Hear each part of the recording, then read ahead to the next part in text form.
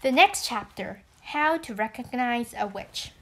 The next evening, after my grandmother had given me my bath, she took me once again into the living room for another story. Tonight, the old woman said, I am going to tell you how to recognize a witch when you see one. Can you always be sure? I asked. No, she said.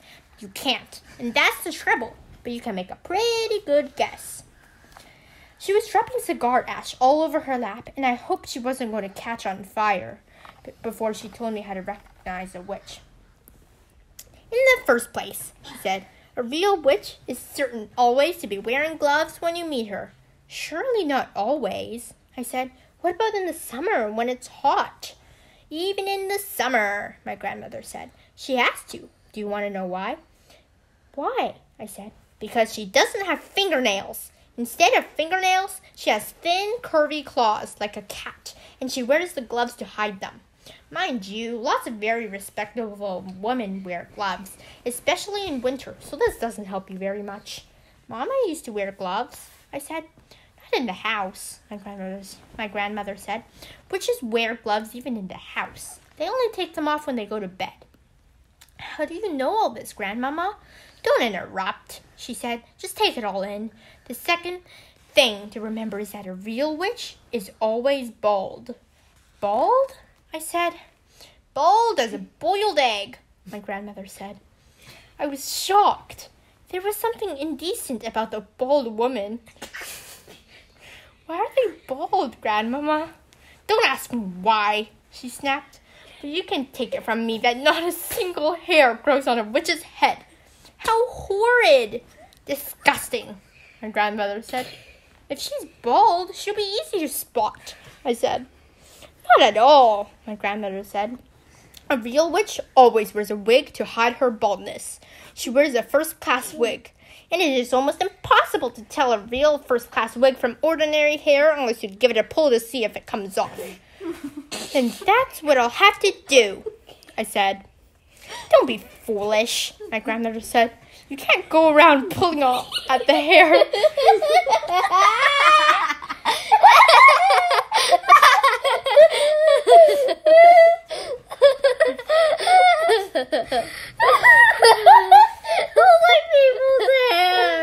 You can't go around pulling at the hair of every lady you meet, even if she is wearing gloves. Just you try it and see what happens.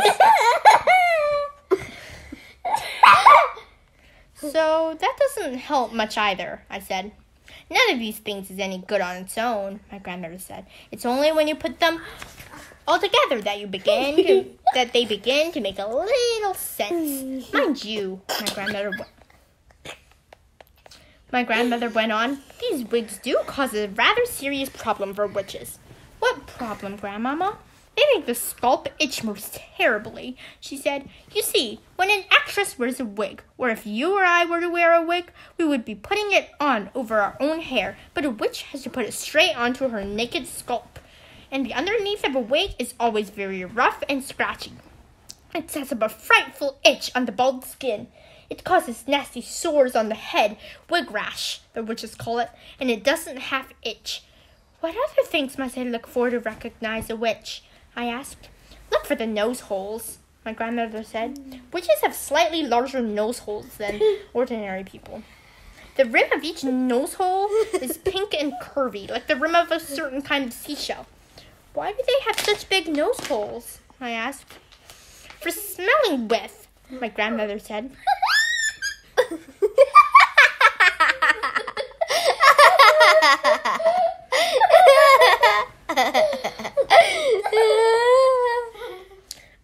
witch has the most amazing powers of smell. She can actually smell out a child who is standing on the other side of the street on a pitch black night.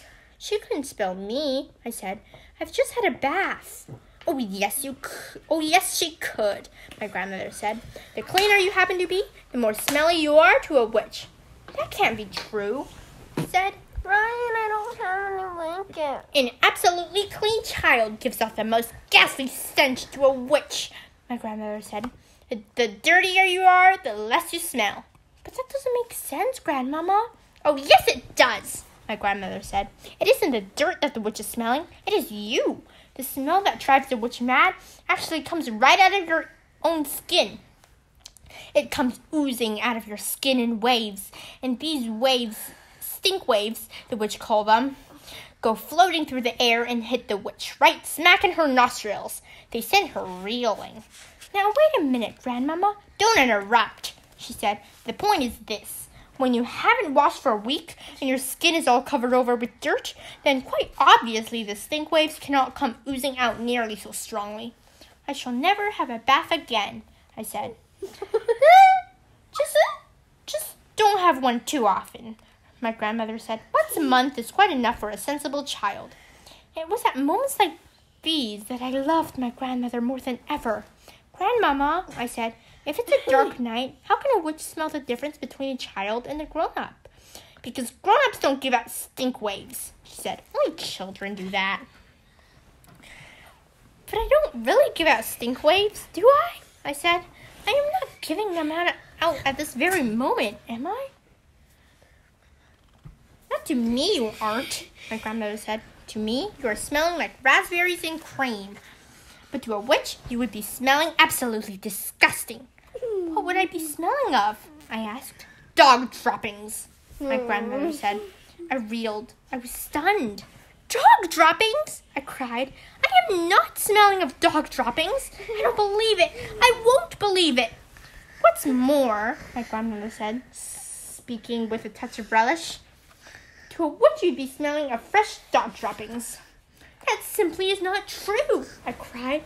I know I am not smelling of dog droppings, stale or fresh. There's no point in arguing about it, my grandmother said. It's a fact of life. I was outraged. I simply couldn't bring myself to believe what my grandmother was telling me. So, if you see a woman holding her nose as she passes you in the street, she went on, that woman could easily be a witch. I decided to change the subject. Tell me what else to look for in a witch, I said. The eyes, my grandmother said. Look carefully at the eyes, because the eyes of a real witch are different from yours and mine.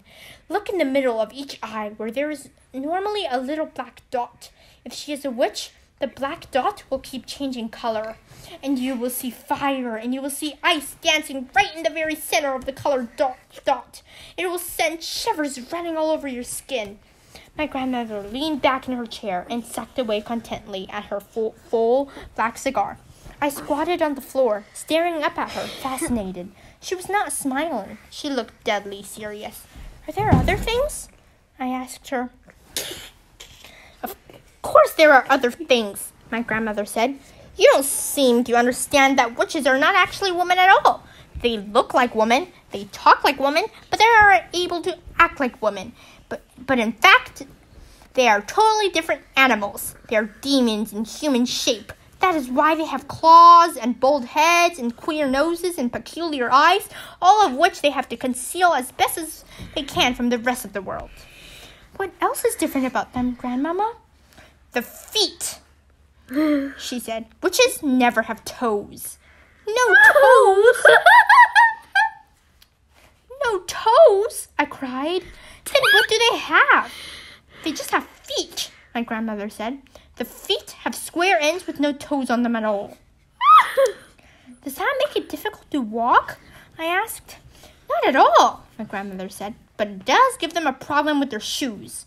All ladies like to wear rather s- small, pointed shoes, but a witch, whose feet are very wide and square at the ends, have, has the most awful job squeezing her feet into those neat little pointed shoes. Why doesn't she wear wide, comfy shoes with square ends? I asked. She dare not, my grandmother said. Just as she hides her boldness with a wig, she must also hide her ugly witch's feet by squeezing them into pretty shoes. Isn't that terribly uncomfortable? I said. Extremely uncomfortable, my grandmother said. But she has to put up with it. If she's wearing ordinary shoes, it won't help me to recognize her, will it, Grandmama? I'm afraid it won't, my grandmother said.